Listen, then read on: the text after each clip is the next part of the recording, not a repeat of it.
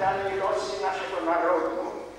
Radzinin staje się w pewnym sensie dziś traktem, nie oczywiście w tym znaczeniu takim, y, jak był w 20 roku, ale traktem podania sobie braterskiej dłoni wschód-zachód. I widać już ten ruch wzmożony. I dlatego też ekscelencja uważał, że trzeba tego świadka głównego i to bijące serce tu w Radzinie, jakim jest świątynia radzińska, podnieść do odpowiedniego stopnia godności. I stanowił właśnie y, kolegiatę radziecką.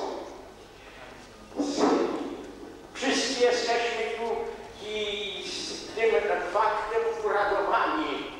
To jest właśnie ten, ten trafienie, jak to mówię nawet w dziesiątkę, w odniesieniu właśnie do obecnego, y, do obecnych stosunków w życiu i na przyszłość. Witam czcigodnych księży, prałatów i kanoników tutejszej kapituły i kapituły delegatów z kapituły y, katedralnej którzy stanowią właśnie chlubę naszej diecezji warszawsko-praskiej i którzy mają być tu stróżami tych tradycji religijnych i tradycji naszych narodowych, dołączeni właśnie do tej świątyni kolegiaty radzimińskiej. Witam y, pana premiera, pana premiera, który jest związany szczególnie blisko z tym zapleczem Warszawy, a zwłaszcza z Radziminem. Serdecznie witam, serdecznie witam i panów dyrektorów, witam panów wojewodę, czy może przedstawiciela tylko, ale witam, bo jest i bliski dla Radzimina. Witam pana burmistrza, ojca Radzimina, y, wszystkich tu, którzy reprezentują właśnie władzę radziemińską, serdecznie witam.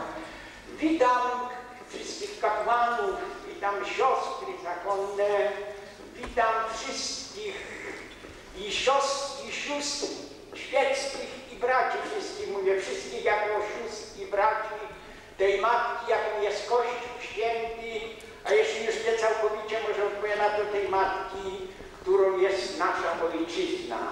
W tym braterstwie witam wszystkich i zwracam się z gorącą prośbą w imieniu kapituły kolegiaty radziwińskiej, w imieniu parafii radziwińskiej o dokonanie przez ekscelencję tego wielkiego faktu i o błogosławieństwo potem na dalsze właśnie, na dalszą historię tej świątyni i tego terenu, jakim tu tworzy to skupisko podwarszawskie Radziny. Serdecznie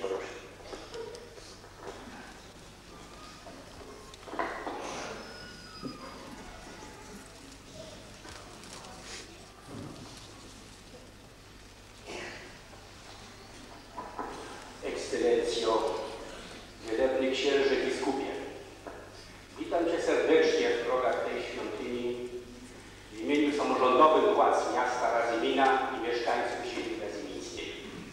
Witam się w dniu uroczystej instalacji kanoników kapituły kolegiackiej w Razyminie.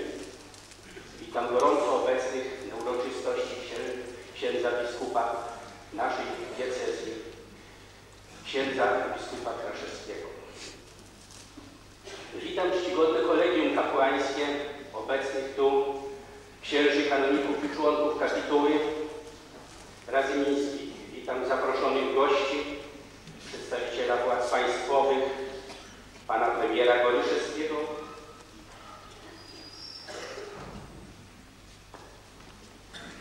W bieżącym roku mija 520 lat od delegowania parafii Radzyminie oraz 518 lat istnienia Radzymina jako miasta. Na tle trudnej, a nieraz nawet tragicznej historii miasta dzisiejsza uroczystość jawi się jako wydarzenie radosne i optymistyczne. Wierzymy, że dzień dzisiejszy zapoczątkuje nowy, pomyślniejszy okres rozwoju Radzymina.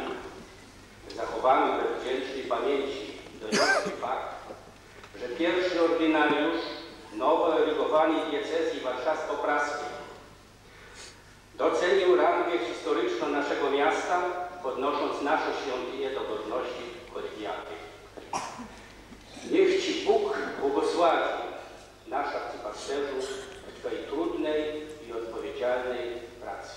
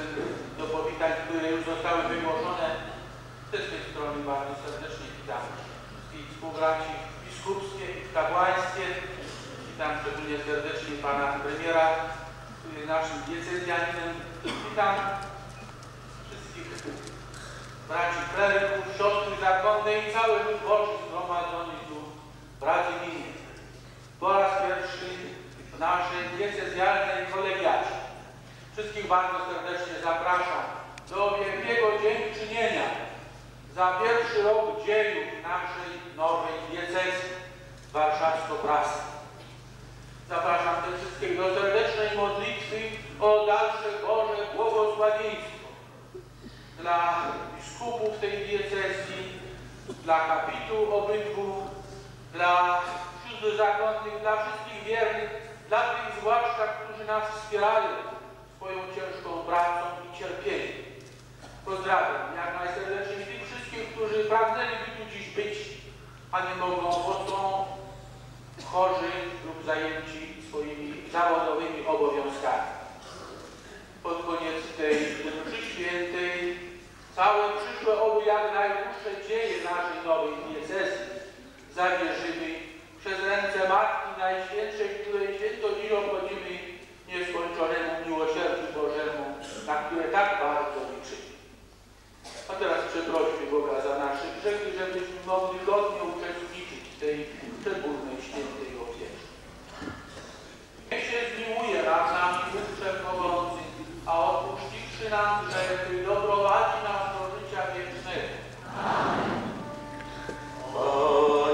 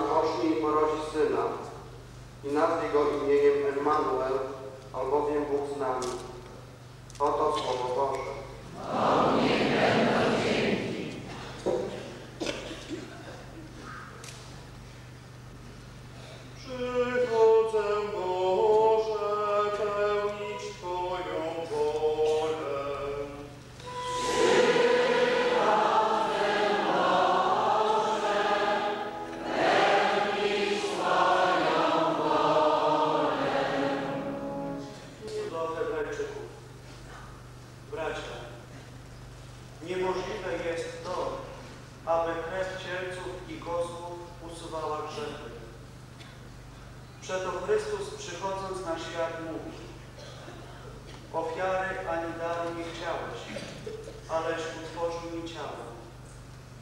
Całopalenia i ofiary za grzechy nie podobały się Tobie. Wtedy rzekłem, oto idę. W swojej księgi napisano o mnie, abym spełniał wolę Twoją Boże.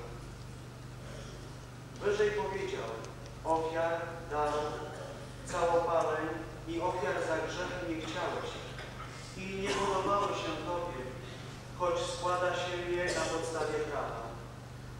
Następnie powiedział, oto idę, abym spełniał wolę Twoją. Usuwa jedną ofiarę, aby ustanowić inną. Na mocy tej formy uświęceni jesteśmy przez ofiarę ciała Jezusa Chrystusa raz na zawsze. Oto Słowo Boże. Bo nie będą się Slava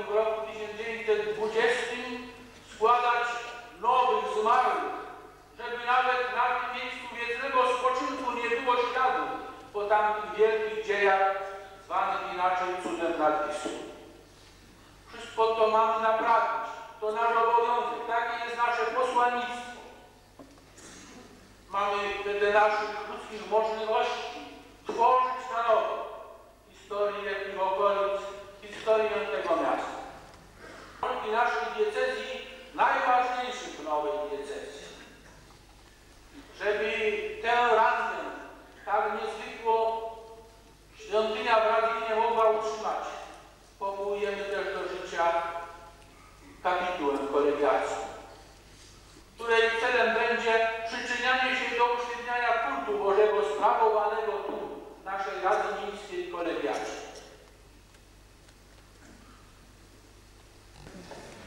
Teraz wikariusz biskupi, ksiądz prałat Lucjan Śmieszkowski odczyta ważny dekret, o którym zresztą wspominał ksiądz biskup ordynariusz. Dekret ustanowienia w Radzyminie przy kościele parafialnym pod wezwaniem przemienia pańskiego kapituły kolegiackiej radzymińskiej. Tym samym podnosząc do rangi kolegiaty tutejszą świątynię.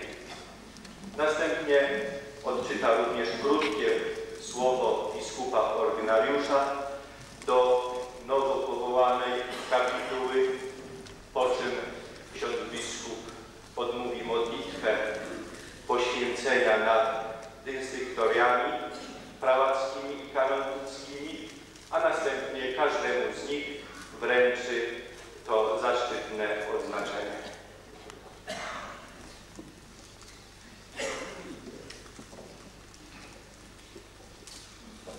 dekret biskupa warszawsko-praskiego ustanawiający kapitułę kolegiacką w Radziminie. Warszawa dnia 8 grudnia 1992 roku. Pragnąc upamiętnić historyczny fakt powołania do istnienia naszej diecezji warszawsko-praskiej, obejmującej tę część dawnej archidiecezji warszawskiej, która znajdowała się po prawej stronie Wisły,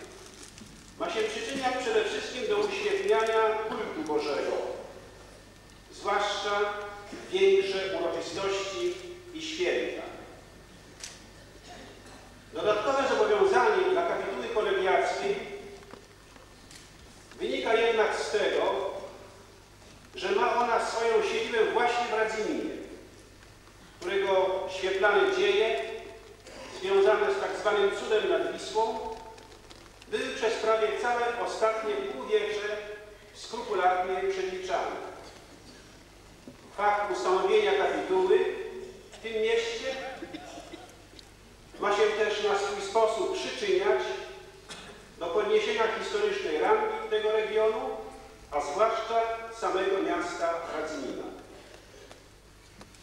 Kapituła kolegiacka zatroszczy się o to, żeby tu właśnie był obchodzony szczególnie uroczysty 15 sierpnia, czyli rocznica cudu nad Wisłą i przypadająca w tym samym dniu uroczystość Matki Bożej Zwycięskiej, patronki głównej naszej diecezji. Pragniemy również, żeby przynależność do kapituły kolegiackiej była traktowana przez naszych konfratów jako wyraz uznania dla ich ofiarnej pracy i właściwej postawy kapłańskiej. Matce Najświętszej polecając nową kapitułę kolegiacką i cały lud Boży ziemi radzymińskiej, wszystkim z serca błogosławię, biskup Kazimierz Romanik.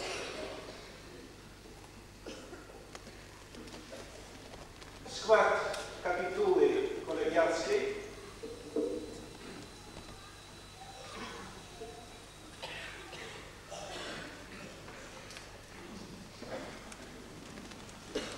Pan z wami. Módlmy się. Prosimy Cię, Panie, uprzedzaj nasze czyny swoim natchnieniem i wspieraj pomocą, aby każda nasza modlitwa i praca od Ciebie się zaczynały i na Tobie. Panie Boże naszych Ojców, Ty powiedziałeś, gdzie dwóch albo trzech zgromadzi się w imię moje, tam ja jestem. Bądź teraz obecny pośród nas i okaż swoje miłosierdzie tej społeczności. Niech nasza pobożność będzie zawsze prawdziwa, abyśmy przez posłuszeństwo Twoim przykazaniom i wzajemną modlitwę otrzymali Twoje błogosławieństwo na ziemi, a po śmierci wierną nagrodę w niebie.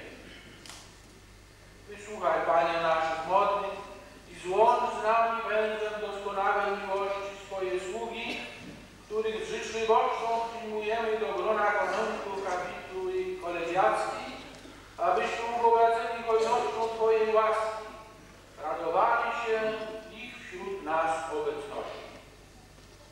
Przyjmij nasze modlitwy i ofiary intencji tych kapłanów i złącz ją z ofiarą Twojego umiłowanego Syna, a naszego Pana Jezusa Chrystusa, Tobą żyje i króluje na wieki wieków.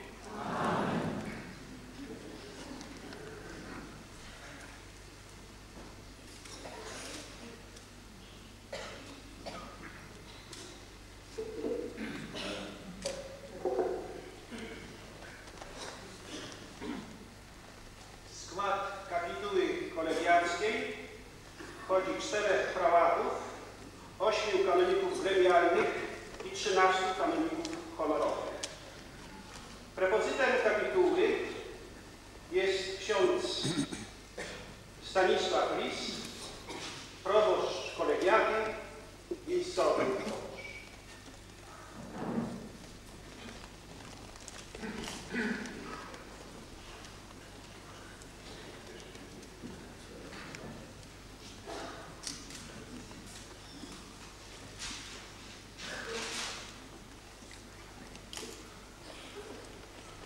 Ksiądz Kazimierz Konowrocki,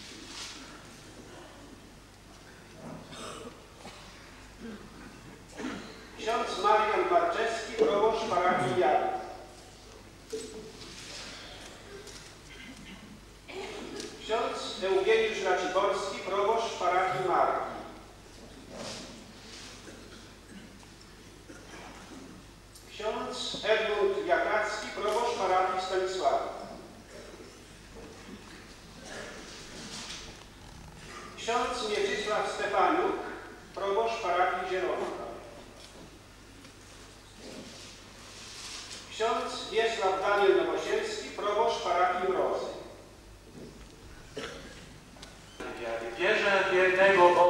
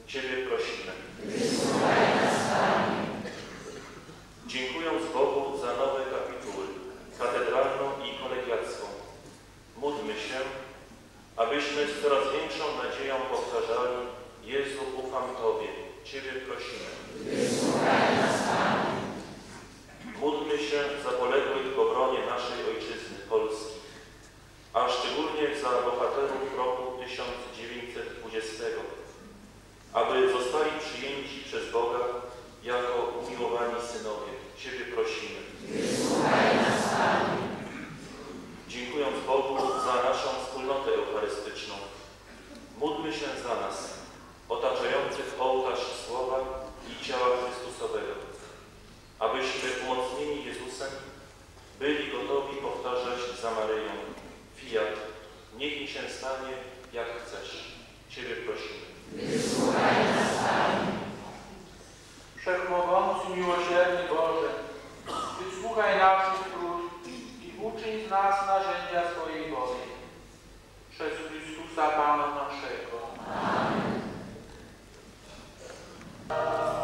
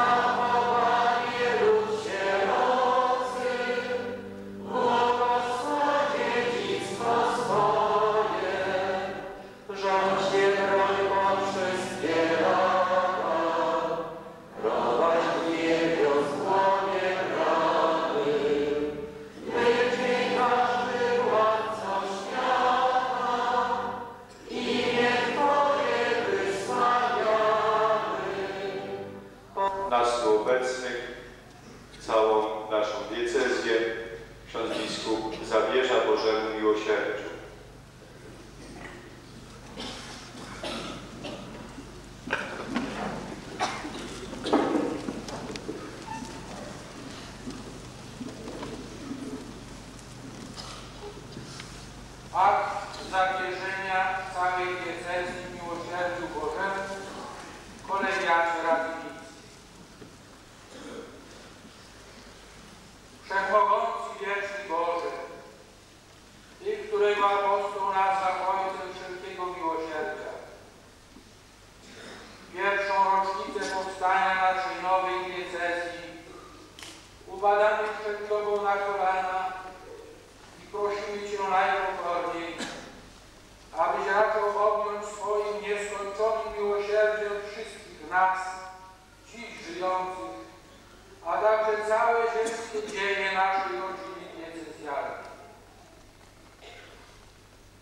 Miłosierdziu Twojemu zawierzamy wszystkich biskupów, którym jest dziś i będzie w przyszłości powierzona troska o lud Boży tej.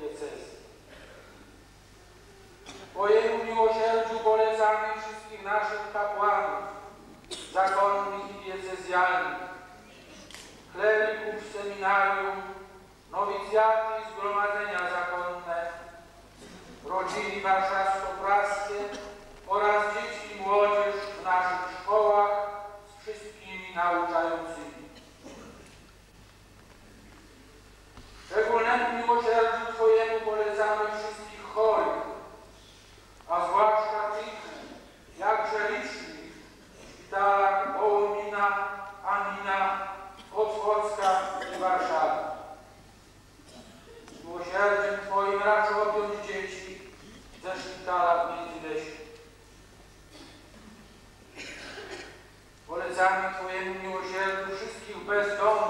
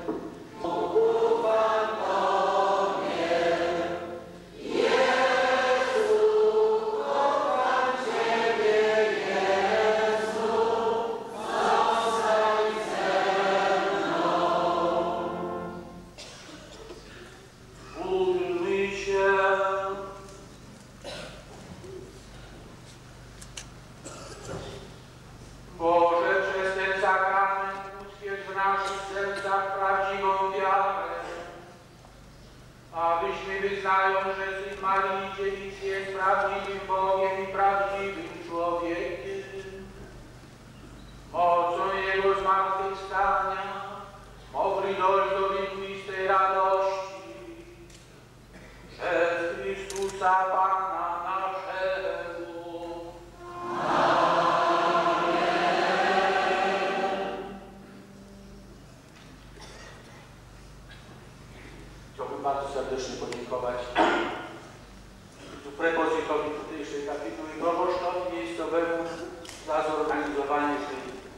uroczystości.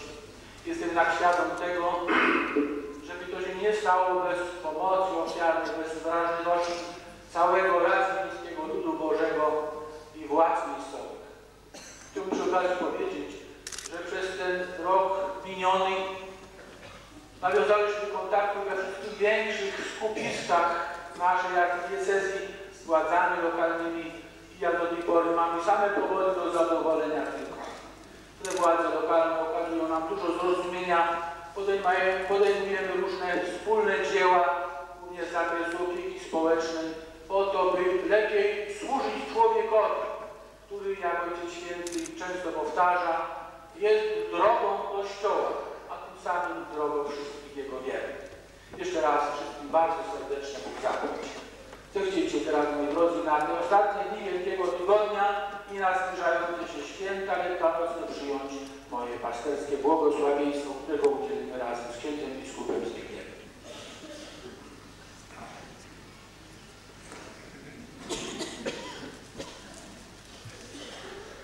Pan z wami.